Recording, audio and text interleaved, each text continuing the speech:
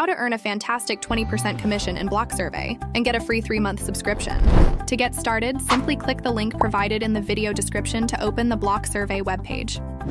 Once the webpage is open, go ahead and log into your account.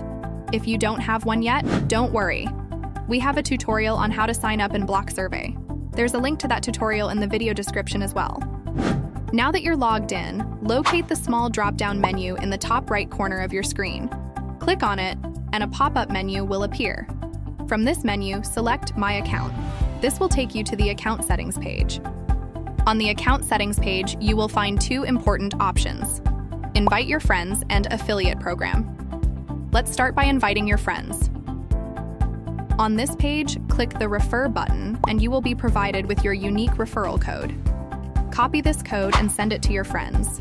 Alternatively, you can use the referral URL to refer a friend as well. It's that simple. Now let's move on to the exciting affiliate program.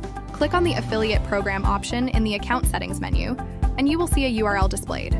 This is your affiliate URL. When someone signs up using this URL and becomes a Block Survey customer, you will earn a fantastic 20% recurring commission on their subscription fees.